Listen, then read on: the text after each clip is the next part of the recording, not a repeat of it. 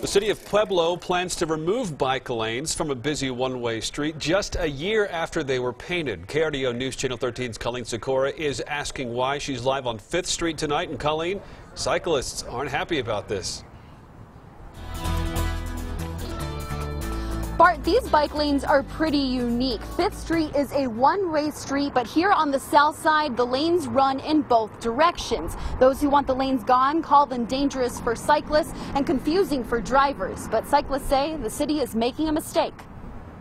It comes a, as kind of a shock. Katie Johnson and her family use the bike lanes on Fifth Street all the time. At least once a week, if not more. But these markings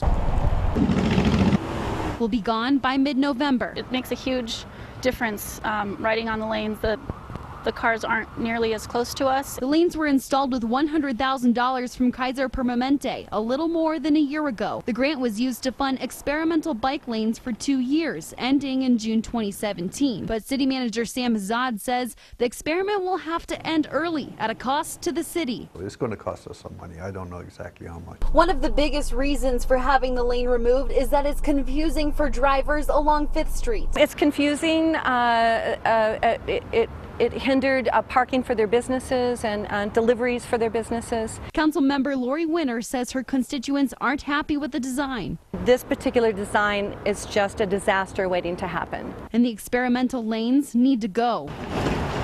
We're, we're all about bike lanes, but not this one. Johnson claims the opposite, arguing the road is easy to navigate. That everything's well marked. I'm not sure how you would get confused. And she hopes the city will reconsider.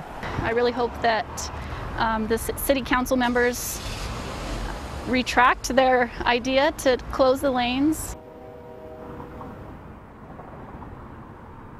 Now, the lanes are set to be removed by mid November. Currently, there's no plan in the works to add a different style of bike lane to 5th Street.